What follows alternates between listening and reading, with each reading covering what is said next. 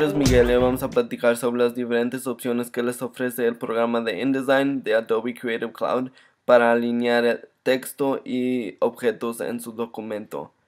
Si han trabajado con Microsoft Word antes, estas opciones deben ser muy familiares. Solo alinean el texto al centro, a la izquierda y a la derecha. Son ah, básicas. InDesign también tiene opciones para justificar el texto, que solo significa que distribuye el texto entre la caja de diálogo. También tiene estas dos opciones de lado, que solo significa que alinea todo hacia la orilla. Si selecciona la caja de diálogo, aparecen nuevas opciones para alinear y eso solo les permite distribuir el texto verticalmente.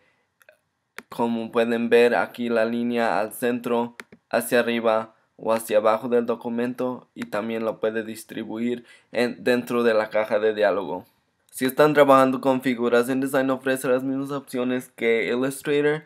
Yo ya tengo mis opciones aquí en mi panel lateral, pero si ustedes no, hay pasos muy fáciles que pueden seguir. Primero van a Window, Object and Layout, que en español me imagino será algo como objeto y diseño, y a un lado opriman la opción que dice Align o alinear. Ya que tengan el panel de opciones a la vista, lo primero que deben de hacer es venir aquí y escoger la opción dependiendo cómo o a qué quieren alinear las figuras.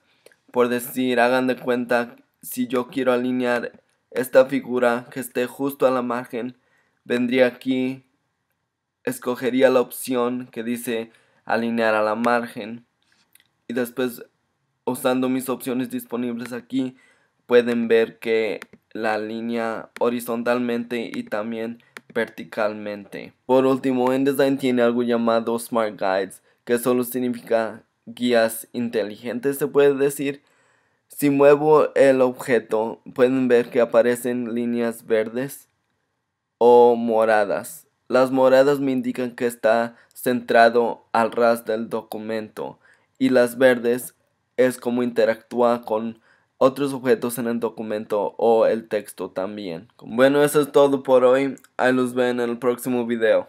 Gracias.